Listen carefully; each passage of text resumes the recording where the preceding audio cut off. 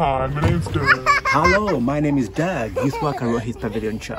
This week, I bring a different challenge that we're giving our young people while they are in lockdown. It's the third of the challenges that we've been giving out, and this is the third week. So,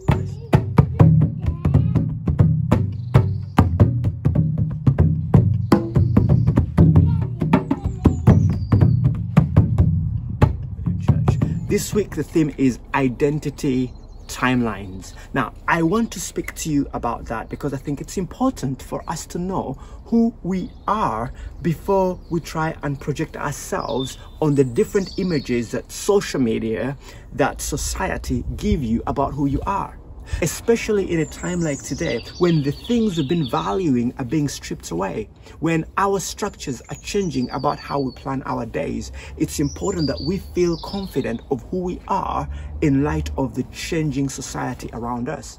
Is that so, identity been wrapped up in the football that we play, in the schools that we go to, in the jobs that we like to do? When all that is stripped away, the question still remains, who am I?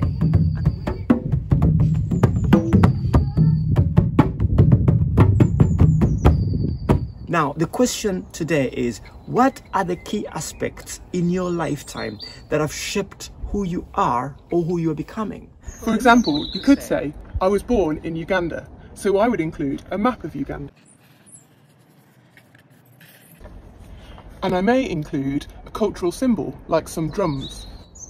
And the drum is a symbol that sits right at the heart of community in Uganda. We play drums when we're inviting people to come together for community. The other symbol I would include is a gomesi. I was raised by my mom, so I would include an African gomesi, which is symbolic of the attire that women wear in Uganda in honor and respect of the sacrifice that my mom gave in raising us up. I would also include the house that my mom built when I was about nine years of age. We entered this house. In that house, many memories have been created some of them great, others bring tears to your eyes. One.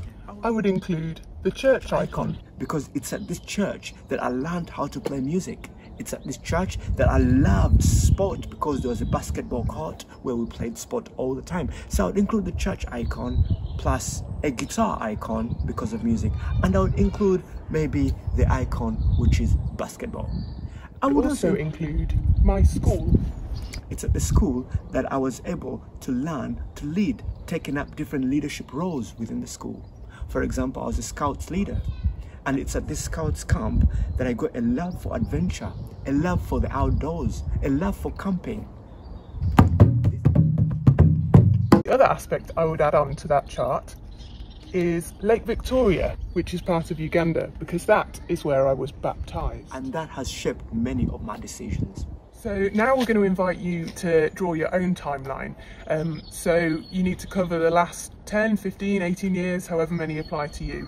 And we want you to think about things in your life that have been really key to shape you to become who you are today. And then either write them out or draw them in a timeline and send your submissions to Doug.